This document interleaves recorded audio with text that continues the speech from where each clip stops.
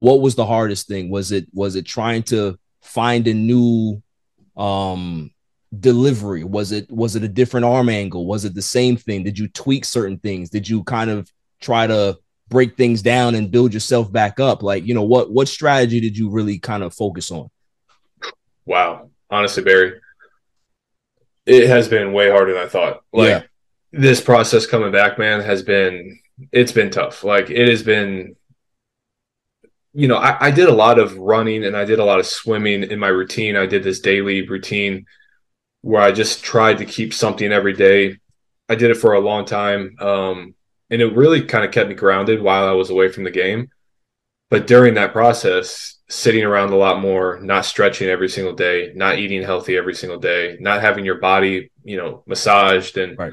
Stretched by trainers, mobility exercises like power explode. Like, dude, it's I mean, it's a whole system